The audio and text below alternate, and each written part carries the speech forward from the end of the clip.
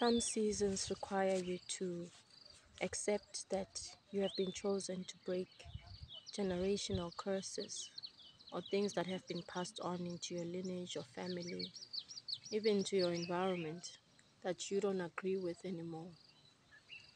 When times like these happen, whether they come to you through messages, through dreams, or even just through fear of being uncomfortable,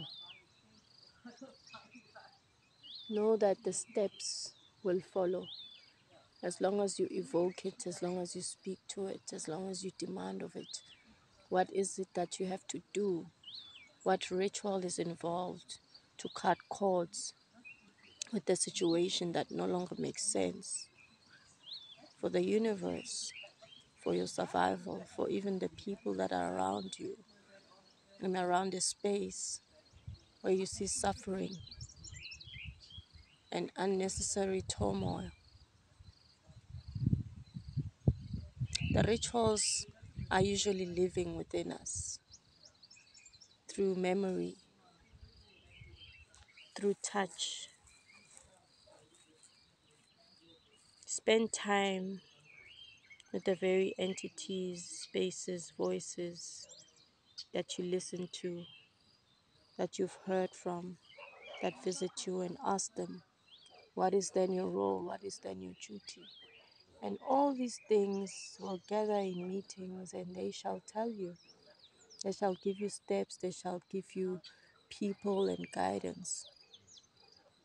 When it's time for you to break generational curses, do not pass that opportunity. Do not think it's a bigger thing, bigger than what you are capable of doing. Do not think it's outside your brain space. Sometimes it's just at a level where you're just attending to your own intuition, where you're attending to your own crazy, your own inner prayer, where you vocalize it.